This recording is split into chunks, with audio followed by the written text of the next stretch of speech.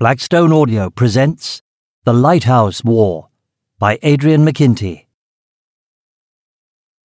For my mother, Jane McKinty, and in memory of my father, Alfred McKinty, God of Mahagov. Anything for a quiet life, as the man said when he took the situation at the lighthouse. Charles Dickens, The Pickwick Papers, 1837. Chapter 1 The Queen The city was doomed. Everyone knew it. If it hadn't been for the stop laws, the peasants and the workers would have evacuated years ago. Winds howled over the battlements, moisture froze in the air. Snow and ice blew off the top of the ice sheet, and the awful groaning noise was the sound of the glacier as it rumbled inexorably on. The sky had a grey, malevolent cast, but no sensible person ever looked anywhere near the sky.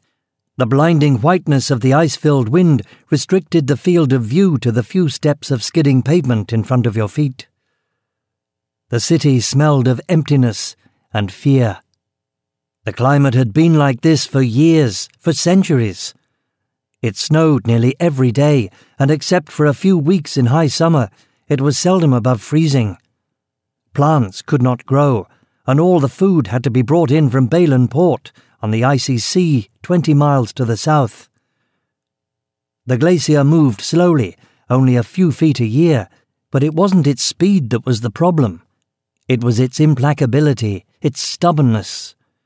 Nothing could stop it, not the massive brick walls they had built, not the ditches, not even the enormous fires previous generations had constructed at the glacier's face in the hope of cracking or melting the great monster. None of it had helped. The fires had burned, and the glacier marched on. The walls were breached, and still it came. It moved like some ravenous beast, hungrier every season, swallowing forest and farms, and then isolated houses, and now whole streets, schools, and meeting houses. Gag Macaque, the local people called it, the insatiable one.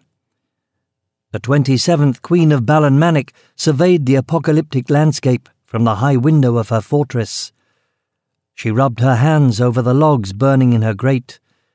Few, very few of the citizens were permitted a fire, and no one was allowed to burn wood. Resources were far too precious for that. She smiled the old queen, of course, was above the law. The old queen made the laws, was the law. Through the thick glass window, she watched a dreyer suddenly stumble to its knees, stone dead, skewered by a stalactite blown off the glacier's south face. Its owner whipped it a few times and then got off his box to examine the animal. Without a dreyer, his source of living was gone. Probably he wouldn't survive the winter. The Queen turned away. Such scenes were depressing, an injection of the pedestrian into the concerns of the wider world. There was nothing she could have done for that peasant, but there was something she could do for her people. Yes. She sat in the leather chair nearest the fire and clicked her long nails on the marble mantel. She waited. He was late. I cannot abide a lack of punctuality, she said to herself. She stood and walked to the large north window. Here the view was worse.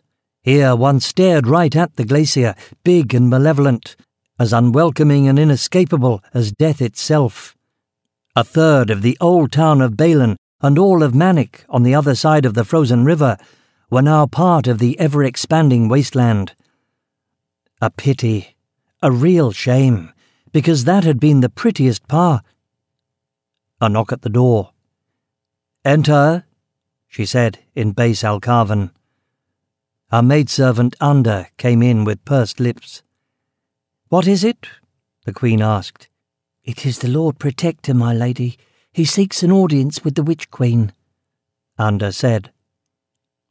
The Queen disliked and discouraged the use of the title Witch Queen. We hope you enjoyed this preview. To continue listening to this audiobook on Google Play Books, use the link in the video description.